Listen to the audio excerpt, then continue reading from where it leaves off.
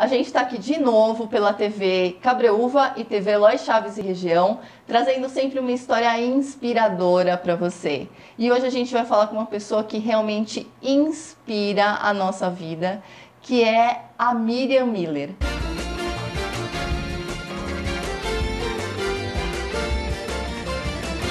Você hoje tem uma empresa que faz mão de obra para construção civil. Isso. E aí eu queria saber um pouco de você, como foi, como que você começou com essa história? Tá. É, bom, é, eu comecei de uma necessidade, né? Porque meu marido e eu ficamos desempregados, com três filhos, e a gente resolveu fazer alguma coisa. No fim, acabou eu ficando sozinha com essa parte, porque ele já não gostava, né, de, de trabalhar com, com construção civil e tal. E eu fui fazer um, um curso no Senai, e aí me formei mestre de obras, né? E aí comecei a trabalhar com pintura, com reformas, em geral. Eu sei que hoje você tem uma equipe que é feminina, Isso. uma equipe de mulheres que É. trabalha para você. Isso. E essa necessidade de trabalhar com as mulheres, a gente estava conversando aqui antes, que foi por conta de que os homens davam muito problema. Sim, nossa, dava muito problema, né? É muito mais fácil trabalhar com mulher. É, é, porque elas são mais comprometidas, né? Elas têm assim mais responsabilidade, assim, não quero generalizar com todos os homens, claro, né? Mas principalmente aqueles que eu trabalhei, tirando alguns, claro, mas assim, é, dão menos problema mesmo. Elas são bem mais comprometidas, sabe? São caprichosas, né? Elas são mais limpas, mais econômicas. Então não tem aquela coisa do, do cara ficar cuspindo do lado, de, de ficar gritando um com o outro e tal. Porque você tem inclusive um projeto, né? Que Sim, são as, tem. as mulheres pintoras. Pintoras, isso. E que toda vez que você fala, ah, eu tenho um projeto que é mulheres pintoras, todo mundo acha que você trabalha com artesanato, É, né? Que você é. tava falando. Pintura, pintura. De, de paninho de prato e tal, né? Tem isso, tem muito disso. En- Então, é, com esse projeto hoje, você já enfrenta de uma certa forma esse preconceito, porque todo mundo já fica imaginando que Aham. seja um trabalho que É. não é para mulher. É. Como que foi isso em 97? Então, em 97, é, eu, eu comecei a trabalhando, na verdade, com alguns homens. E logo depois, quando eu vi, vi essa dificuldade, né, que o mercado pedia alguma coisa diferente, né, então eu modifiquei para as mulheres justamente por essa dificuldade.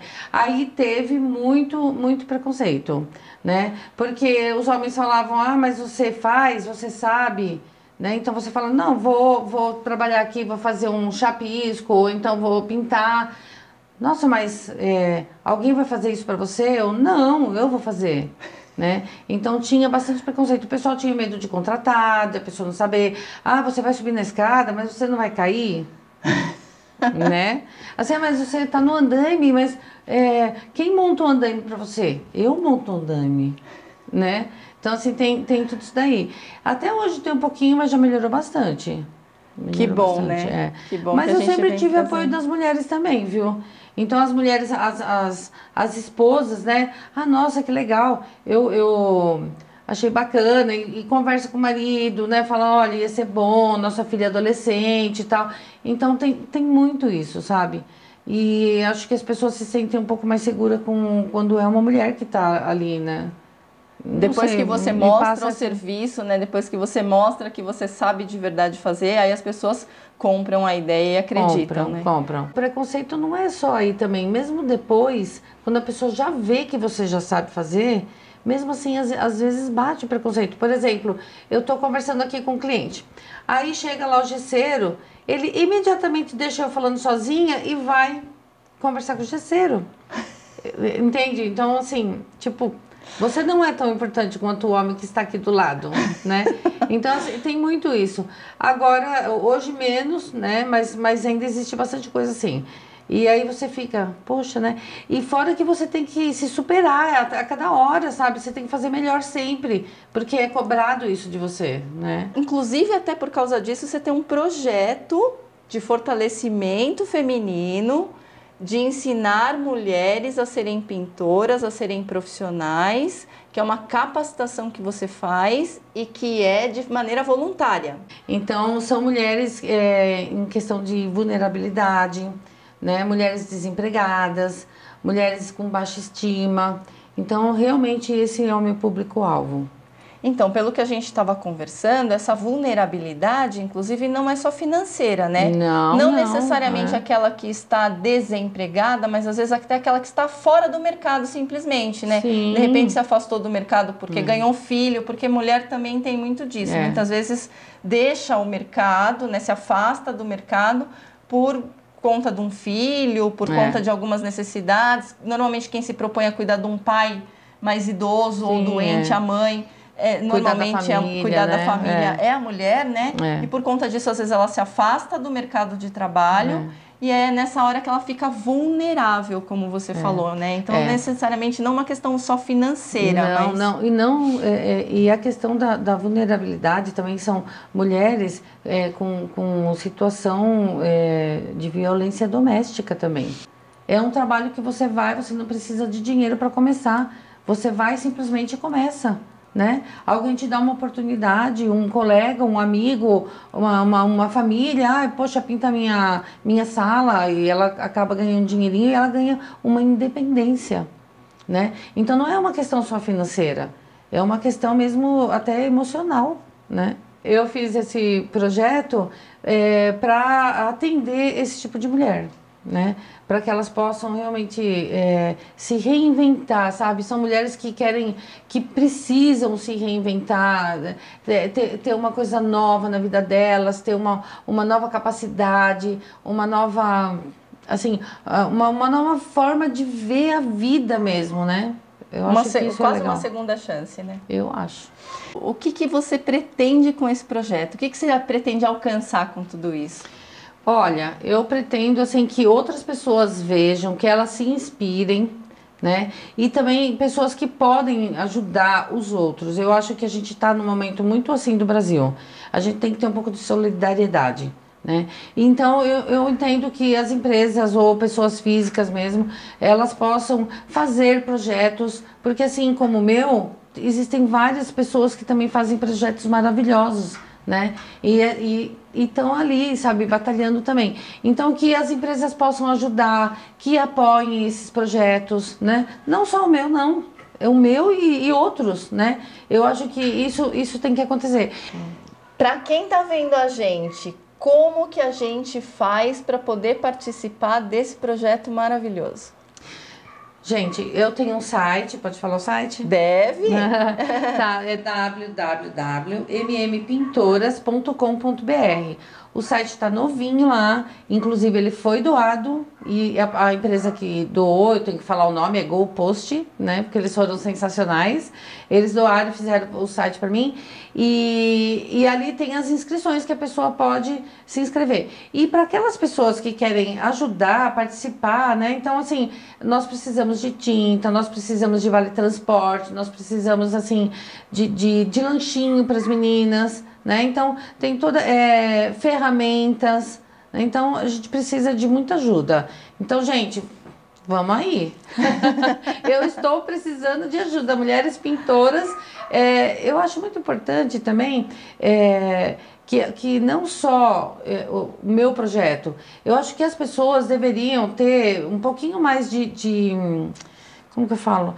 É, solidariedade. Solidariedade, é. Elas poderiam ter um pouquinho mais. É, o, o, gente, empresário, por favor, né? Vamos aí, a prefeitura, né? Vamos passar esse tipo de coisa adiante, né? Não, porque... são é um, esse projeto em específico é um projeto realmente maravilhoso, hum. porque capacita mulheres. Eu, eu fiquei encantada. Quando é uma amiga minha que veio me falar, eu fiquei encantada repassei para os meus grupos de, de, de, contatos, minhas redes de contatos, e hoje eu sei que eu tenho é, aluna minha que é aluna sua é, também. É verdade, né? que é maravilhoso. É. Então, é, é um trabalho que não só pode fortalecer a, a pessoa, o lado feminino da pessoa, ela enquanto o sentimento, né, emoção, É. mas fortalece o lado também empresarial, vamos dizer assim, o É. lado profissional É. dela. Ela cria uma nova profissão, que foi o que aconteceu com você, né, Miriam? Você tinha de repente, você não imaginava no teu começo que você pudesse fazer isso, porque você começou a fazer isso por uma necessidade. Exatamente. Eu comecei por uma necessidade e eu acho que eu nunca imaginei que, que ia dar certo, nunca imaginei que eu, puder, que eu pudesse realmente fazer isso, né? Porque é uma coisa, é um ramo muito masculino, né? Então eu acho que você fica preso àquela coisa de não, isso eu não posso, isso é coisa de homem. Ah, isso é coisa de mulherzinha, isso é coisa de hominho, né?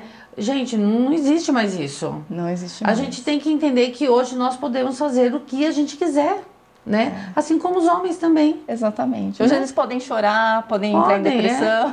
Não, eles podem ser donos de casa. Hoje em dia nós temos aí homens que são donos de casa. Exatamente. Trabalha lá, vai fazer faxina e tudo. Gente, qual o problema? Né? Exatamente. É, a- Muito a- pelo contrário, a solução é, É a problema. solução, porque assim, muitas mulheres sustentam famílias. É. Muitas mulheres. Né? Então, assim, a gente vive num país é, que as mulheres é, é- é maioria, né? E outra, elas, a gente acreditar nessa força que a gente tem interior, nessa força de trabalho, É. nessa força que a gente pode fazer, de fazer as coisas mesmo, É. de realização, é incrível. É, É só acreditar de verdade, É. né? Porque da hora que você acredita, você pode de verdade, você faz. Eu, eu tenho tido aí exemplos maravilhosos de pessoas assim, realmente a cada dia mais inspiradoras, porque é muito o que você falou, né? Ah, eu nem sabia como ia começar o projeto. Eu determinei um dia e aí eu fui e fiz. Se ninguém me apoiasse nessa hora, eu ia tirar do meu bolso. É, foi incrível, gente. Assim, o, o, o projeto, é, eu, como ela falou, eu determinei, né? E falei, não vou. E quando foi assim, a última semana, eu, eu, gente, eu não tinha recebido absolutamente nada de doação. E assim, na última semana eu já tava desesperada. Eu falei, meu Deus, né? Porque assim, você não compra uma lata de tinta, né? Você, eu, é, eu geralmente eu faço esses projetos no espaço, geralmente não, esse primeiro, né? Mas eu penso muito em fazer sempre no, no daqui para frente no espaço público, onde está precisando. Hoje a gente faz no Aníbal, é, a- é a Manuel Aníbal, é uma escola lá de Jundiaí, bem em frente ao terminal, uma escola maravilhosa, gente, vocês não têm noção. E ela tá assim precisada, né? Então a gente vai transformar aquele lugar. Que Nós vamos lindo. transformar. Né? E, e assim, na última semana eu tive uma, uma, uma doação de um cliente maravilhoso, o seu Rodolfo, né? E ele me doou praticamente todo o material. E logo após, na mesma semana, eu tive um outro, uma outra pessoa que me doou mais uma parte de material, de tinta, mas corrida, eh, eh, todo, todo esse tipo de coisa que a gente precisa, é ferramental também, né? que foi a Arte Cores é, Tintas lá de Jundiaí, o Evandro, que é o dono, né? É, depois a gente recebeu alguma coisa assim em dinheiro de uma pessoa ou outra, mas física, né? E teve o apoio da Nova RH também, né? Nossa, super. O, o lanchinho, o apoio da Garantido. Nova RH, gente. Da Maravilhoso. Vânia, né? Não tinha bolinho, um dia era bolo. Outro dia era assim, uma, uma- um pão com mortadela. Gente, pão com mortadela. Não, não sobrava, né? não sobrava. É, muito bom. Ai, que bom. Bom, então é isso, gente. Ai, obrigada, viu? Obrigada por você ter vindo.